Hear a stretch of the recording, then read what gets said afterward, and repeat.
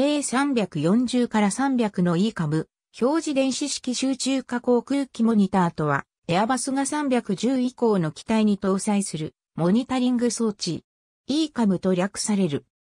従来の航空機では、警告音や警告灯を確認した後に、紙のマニュアルから解決策を探していたが、A300 では、システムの複雑化によりマニュアルの分量が増加し、クルーは、些細なエラーを解決するために分厚いマニュアルを取り出して検索するという作業を強いられていた。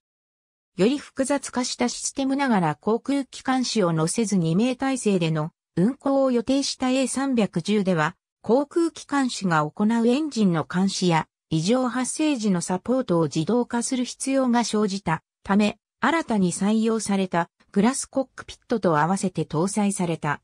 A310 とコックピットを共通化した A300 から600にも搭載されている。ECAM はエンジンや各種システムの状態表示とモニタリングを行い、異常発生時には警告と解決策を画面に表示する。初動対応としてパイロットは表示された解決策に従って行動する ECAM アクションを行うことでマニュアル検索の手間を省き迅速な対処を可能とした。警告レベルは3段階ある。複数の警告がある場合には優先順位が高いものが上部に表示されるため、パイロットは警告の内容から優先順位を推察する必要がなく、上から順に処理することで迅速に対処できるようになっている。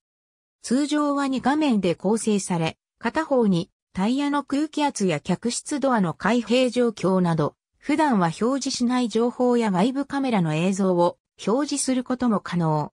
イリユーシン設計局の IL-112 には ECAM と同等の装置を搭載することが予定されている。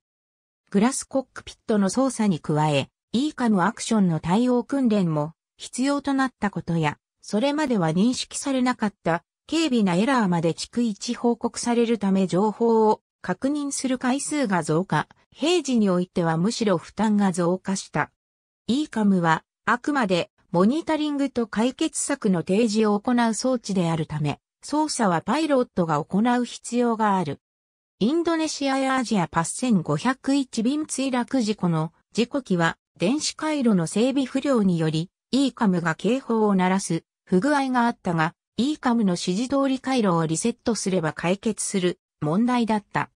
しかし事故当時の機長は警報を止める際に不適切な操作を行ったことでオートパイロットと失速防止装置が解除され墜落につながった。ありがとうございます。